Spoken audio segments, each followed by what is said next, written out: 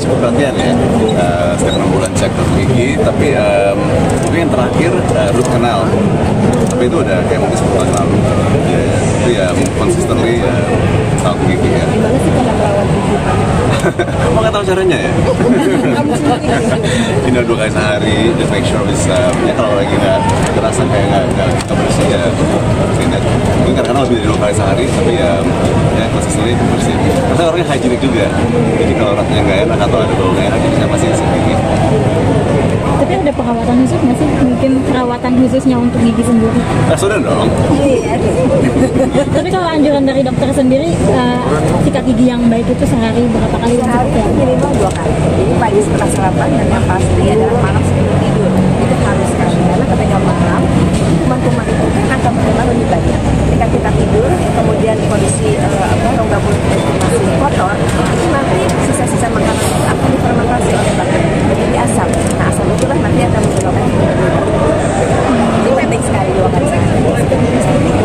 Iya. Semua orang betul.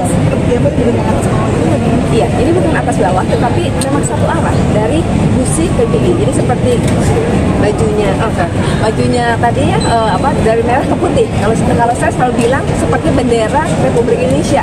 Jadi dari merah ke putih, dari gusi ke gigi, selalu seperti itu. Tapi jangan bolak balik, gitu karena ketika bolak balik kita nanti si apa eh, sikat giginya itu akan melukai gusi sehingga menyebabkan tadi gigi itu jadi sensitif, gusinya juga jadi terluka seperti itu. Jadi selalu satu arah. Tetapi kalau anak-anak mungkin lebih susah, jadi bisa eh, apa dengan gerakan memutar. Tetapi kalau anak-anak kan mendampingi ya, pasti harus juga mendampingi kan tadi kan. Eh, jadi eh, kalau anak-anak itu menjadikan eh, penyikat itu menjadi salah satu menyenangkan untuk orang tua ya. Jadi seperti. Dari usia berapa Nah, jadi sebetulnya ketika anak itu baru keluar gigi di usia 6-7 bulan itu dia memang harus disikat gitu. Mungkin ya, nyikatnya bisa dengan kasar saja di apa di uh, dengan air hangat, dengan air hangat gitu ya. Kemudian dibersihkan tuh uh, tidak cuma giginya saja, tetapi juga di gusinya, kemudian di lidahnya.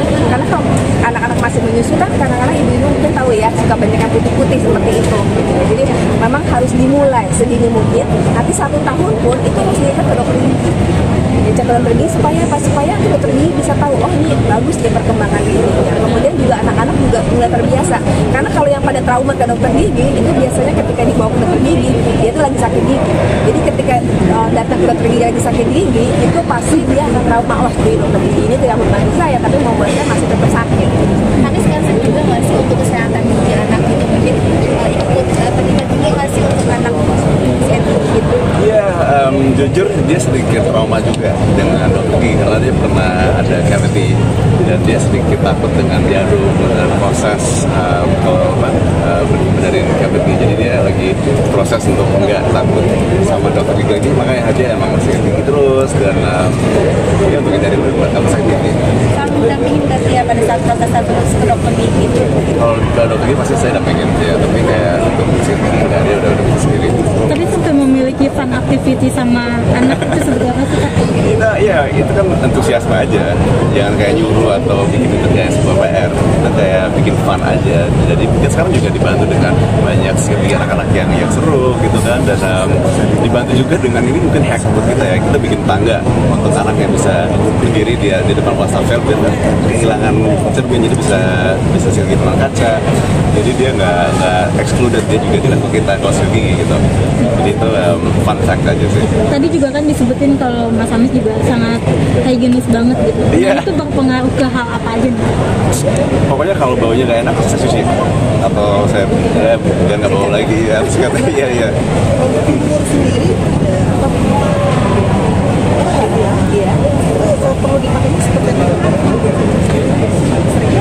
Oh, kalau saya ya. puas ya setiap hari iya iya iya kadang-kadang saya juga mungkin kadang-kadang habis makan nggak sikat gigi tapi langsung kumur biar biar baunya hilang gitu um, selalu coba ya fresh aja sih Jadi selalu bawa gitu.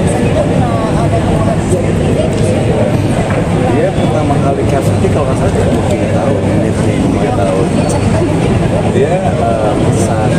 setelah itu emang emang rutin cek. Karena ada ada ada seperti itu uh, dia lagi pengen banget hindari kedokteran gigi ya, dengan dengan gigi jadi ya lagi lagi sih. Gigi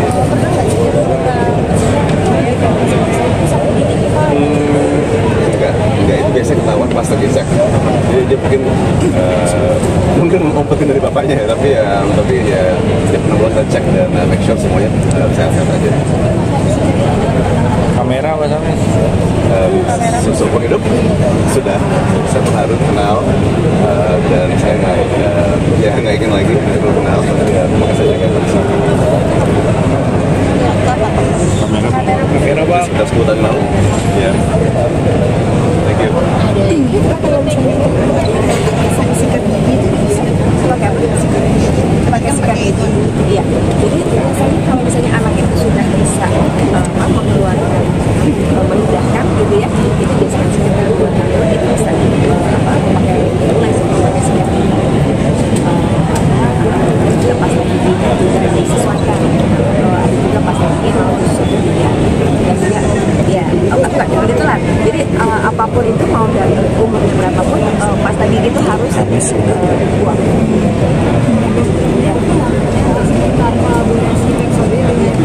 kan unjuk gigi uh, gosok gigi jadi panutan dari Oh, brand sadar Iya, I mean, um, senang sih karena uh, ternyata um, banyak yang mesti diedukasi juga cara sikat gigi, you know. Jadi um, apalagi sekarang saya terlibat uh, promoin teknologi baru AI ini, jadi saya sangat excited sih, excited karena saya, saya yakin Indonesia itu udah nyalip banyak negara yang lain uh, mengenai teknologi ini. Jadi um, menarik, penasaran dengan dengan uh, reaksi masyarakat, tapi um, banyak kata-kata yang menarik tadi. Gratis gampang jadi kayak mudah-mudahan itu bakal di pick up. Dan uh, sudah ada sering mengupload tentang gigi di, di medsos? Sering mengupload gigi di medsos? Masa saya setiap hari kali aja gitu ya edukasi gitu. dengan tiap bulan why not? Coba. Ada di di TV udah pernah coba dan itu akan out kalau nggak salah lagi ya. kan habisnya sendiri habisnya ke mana mesin oh ada kan ada nanti sama begitu loh Ada hologram di rumah iya nanti. ya kan Mas Hafiz kalau untuk menjaga kedekatan ini seperti apa sih kan untuk seorang ayah hadir sosoknya bisa hadir anak bondingnya seperti apa Iya, kita sebagai orang tua juga harus turun ke levelnya dia dan komunikasi benar ya. Jangan kita yang ngomong ke bawah gitu. Jadi kita harus satu level dan kita harus mengerti juga apa apa yang dia mengerti mungkin, apa yang dia kayak belum sih, apa yang dia mau, apa yang dia nggak mau. Jadi kita harus uh, uh, bisa masuk ke levelnya dia lah.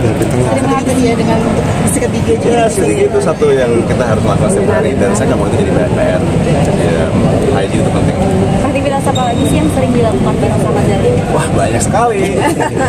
salah satu yang paling sering Ah, you know, sikit dong, sikit no. Tapi ya kita emang banyak kegiatan yang ya, mau itu adventure, mau itu jalan-jalan bersama, tapi selalu uh, berusaha untuk belajar sesuatu yang baru setiap, hari.